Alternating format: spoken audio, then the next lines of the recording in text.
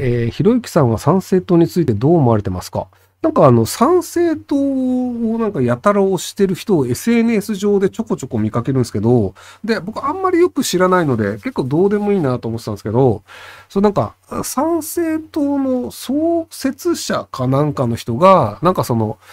日本で作れる食べ物だけ食べていて、なんか外国から来るような食べ物なんかなくてもいいんだみたいな、まあ、食料自給率維持的なことを言ってて、あ、こいつアホだなって思ったんですけど、で、そのアホに関して別になんか批判してるという素振りも参政党内で見かけないので、なので、あ、アホの集団だなってそういう認識でいます。はい。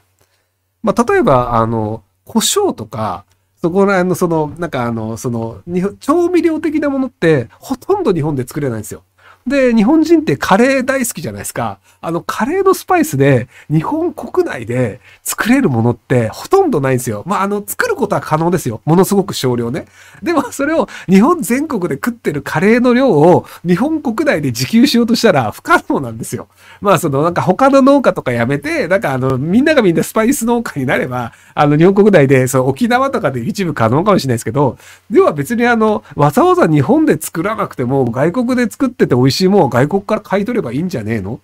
で、別にそれで、あの、例えばじゃあ、その国際的な、そのなんか防衛力がどうこうみたいな時って、防衛を、そのなんか、じゃあ、その武器を持った方が戦争起きないよねって話もそうなんですけど、この国のこれ輸入してるよね、この国にこれ輸出してるよね、ビジネス的につながりが大きいよねっていう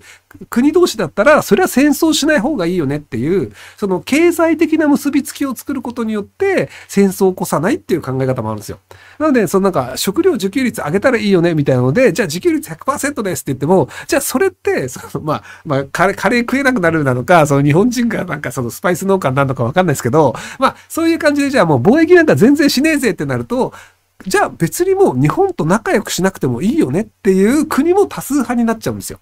だからそうなると、例えばじゃあ中国が日本ぶん殴ってきましたっていう時に、まあ別に日本なくなっても俺たち困んねえし。でも例えばじゃあそのインドのスパイスをめちゃめちゃいっぱい買ってると、そのインドのスパイス農家が、いやいやいや、俺たちのスパイス売れなくなるからちょっと中国止めてくれよ、インド人の偉い人みたいなので、インドが中国に、いやいややめろよっていうふうに言うみたいなのもあったりして、なので経済的な結びつきというのを世界中に作るっていうのは結構重要で、あの、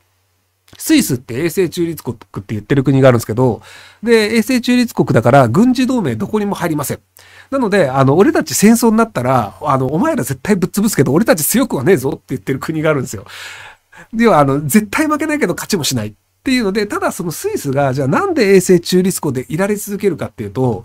あの、結構ないろんな国の金持ちがスイスにお金を置いているっていう、そういう話があって、その要はあの、スイス銀行っていうのはあの、ゴルゴ13も口座を持ってると思うんですけど、あ要はそのスイスがなくなってしまって、スイス銀行がなくなると、ゴルゴ13ですら無一文になっちゃうんですよ。っていう感じで、割と世界中の金持ちの人たちとか政治家とかが結構スイスにお金を持ってたりするんですよ。だから北朝鮮とかもスイスに口座あるし、で、その北朝鮮の偉い人とかもスイスに留学してたりみたいな。で、アフリカ諸国の政治家とかも割とあの、北朝鮮、そのあのスイスに口座があったりとか、で、自分の息子はスイスのなんかあの学校に出てたりみたいな感じで、その要はあの、軍事的なその同盟関係にはないんだけど、でもお前んとこの偉いやつの金、これなくなるの嫌でしょっていう形で、じゃあスイスと戦争するのやめようか、みたいなのが政治的に起こり得る状況っていうのを一応作ってたりもするんですよ。っていうのもあったりさ、ゴルゴ実在せえへんやっていうコメントで、なんて言ったらいいのかなそうだね。ゴルゴいないよね。うん、すいません。